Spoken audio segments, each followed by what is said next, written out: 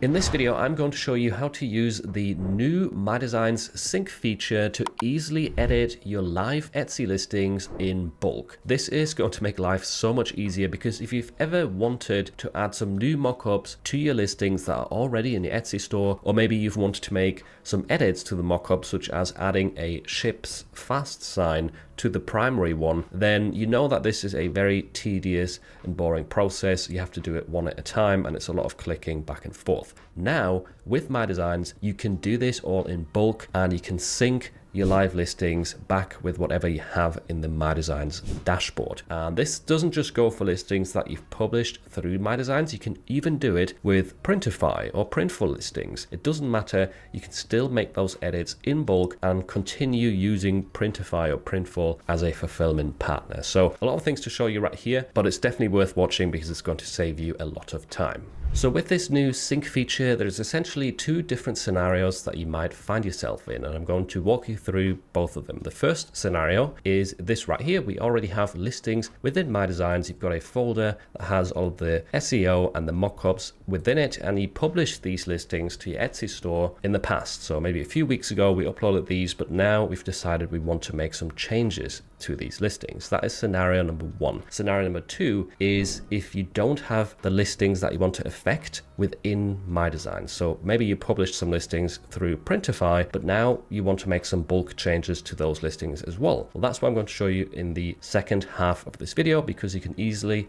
import all of that data into MyDesigns, make changes to it, and then sync it to your live listings as well. But let's focus on scenario number one. In this case, we've only got static mockups within this listing. What if we wanted to quickly add a video mockup to all of these in bulk? Well, first step is selecting all of your listings, go to quick actions, video mockups, and then obviously you want to choose as usual the files that you want to be included in the video then hit submit and that will add the job to the queue, which you can now find if you click on this bell icon right here in the top right corner. You can see all of the processing jobs. You also get a timing estimate underneath. And then once this is done processing, we're basically ready to sync these newly created video mockups back to our live listings. As you can see, every single listing has got one of these now. And the step to sync these is very simple. So we go to quick actions, bulk sync publications. Just make sure you have the correct store selected. Click on next.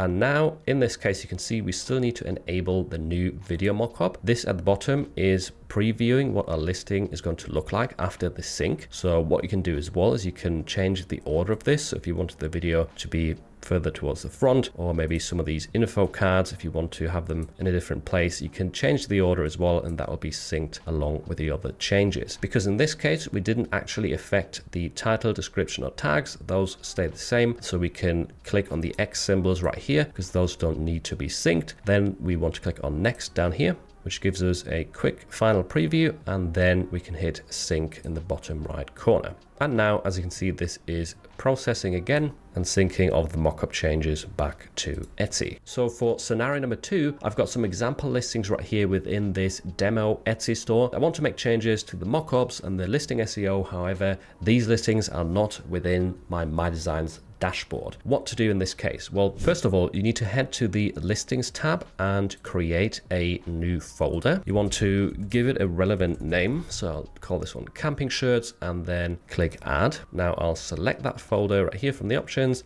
and click open in the bottom right corner. And now if you have MyDesigns connected with the Etsy shop, you can go to upload, import listings, then select the correct shop from the drop down. And then you have got a few options right here. You can either filter through different sections of your shop you can also select whether you want active, draft, expired listings, etc. And then you've got select all visible on the right as well as clear all. So in my case, the easiest thing rather than clicking through this manually would be to go to sections, camping shirts, and then select all visible. Next, you need to click on import listings. And then within a few seconds, those should be imported, including all of the mockups, as you can see, and the listing data as well, which is purposely very rubbish for these example listings. So the first thing I'm going to do is quickly amend this listing data and optimize it. So let's go to select all of these Then quick actions, Vision AI. They've just released a new model right here as well, uh, MyDesigns or MD2. I'm going to go to product features and type in 3001 to make this description optimized for the correct product and then let's generate the listing data right here. Yes run vision ai and now we'll have a better title tags and description generated based on the primary mockup right here. So there we go. The listing data has been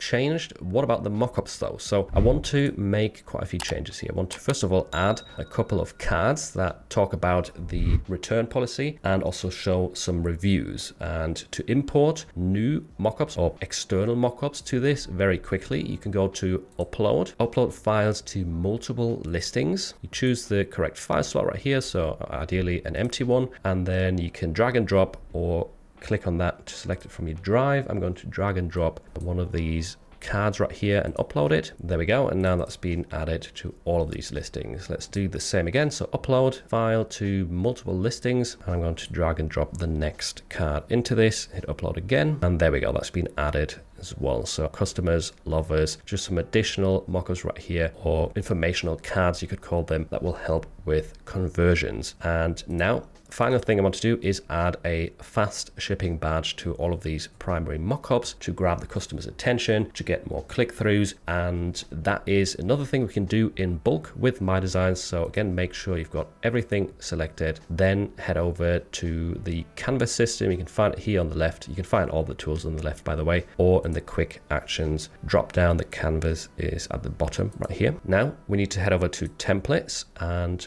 custom size. Now the size of these mockups is 2000 by 1500. So we need to create a canvas with that size. So we can then click add listing file, add to all. There we go. The mockup has been imported. We just need to go to position and hit fit to artboard. There we go. That should align it properly and make it stretched out to the edges right here. And we can now right click and sync this so that the alignment carries over to all of the other mockups as well for all the other listings. And now let's add the fast shipping badge, which we can find in the elements tab right here. So if we type in fast and hit enter, you've got a bunch of options, fast shipping, ships fast, circle, or a rectangle. Obviously you can also create these yourself externally within Photoshop and then upload them with this tab right here. Or you could also use Dream AI potentially to generate some AI art that you then kind of add to this mockup. But let's go back to elements and use this right here, fast chipping. I'll drag it down into the uh, bottom left corner right here so it doesn't cover up the actual design. And by the way you can also still change the colors. So uh, if you click on this up here colors then because this is a vector file you could amend the color to anything you want to fit your branding or maybe to stand out a different way with like a bright pink bright yellow or something like that. Um, you've got a color picker as well. So that is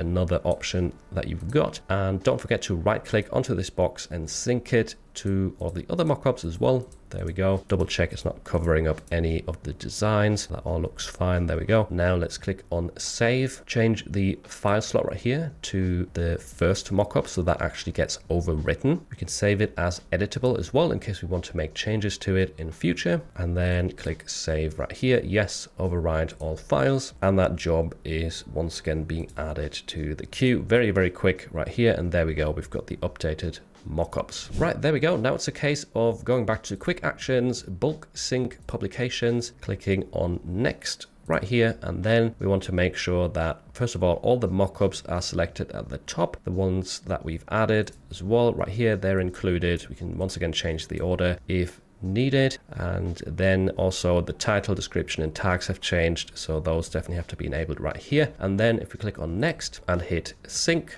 then once again that is being updated on our Etsy store in the background. And if I refresh this page right here, you can see everything has changed. Let's open one of these up. We've got the different title SEO right here. The description is filled in and we've got the new mockups added too. That was super easy, super quick, and especially if you're working with hundreds of listings, this is a massive game changer. If you want to learn how to use MyDesigns to start selling print-on-demand products on Shopify, then make sure to check out this video next.